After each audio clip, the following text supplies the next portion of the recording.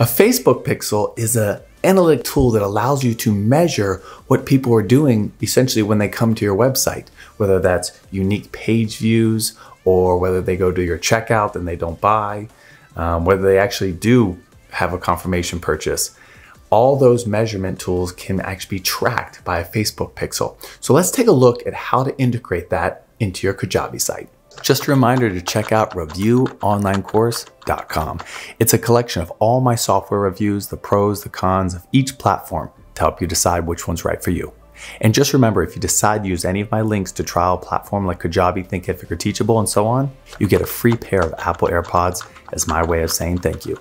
Check the description box below for more details. Anyways, back to the video.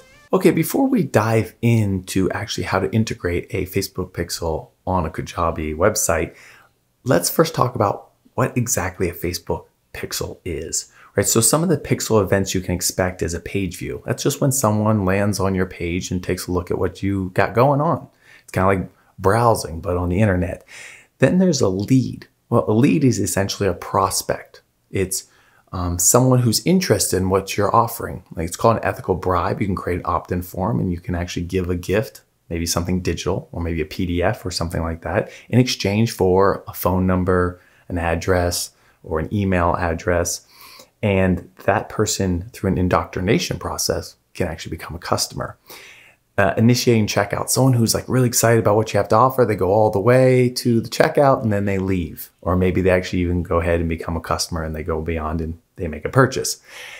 Facebook Pixels will track all of the behaviors of any users that come to your website, which is phenomenal. That way you don't have to sit there and try to watch that. It does it all for you. So just wanted to actually talk a little bit about what a Facebook Pixel is and how now let's check a look at, uh, let's check on how to integrate that into your Kajabi site. Okay, we're back here at the Kajabi homepage. You will find it under settings, not anywhere in here. This is how you actually build out websites and pages and opt-in forms. Go to settings.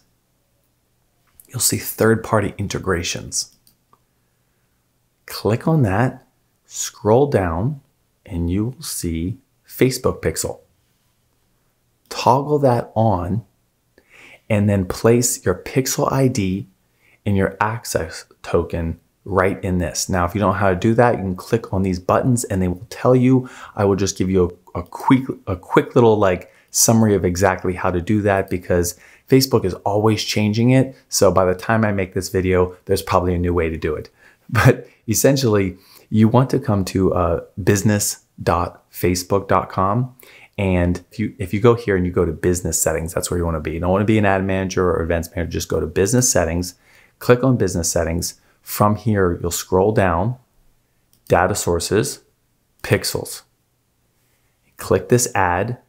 You can name it and it will generate a pixel for you and you'll get those numbers. You get that pixel ID number and you'll get that access token number. And when you get those, you come back over to Kajabi and you place those in there and you're done. Gone are the days where you have to actually put the Facebook pixel on every single page.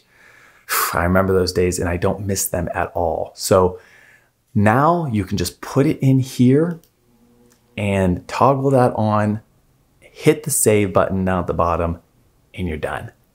That's how easy it is. I hope you enjoyed that. I will see you in the next video. If you have any comments or questions, make sure you put them down below.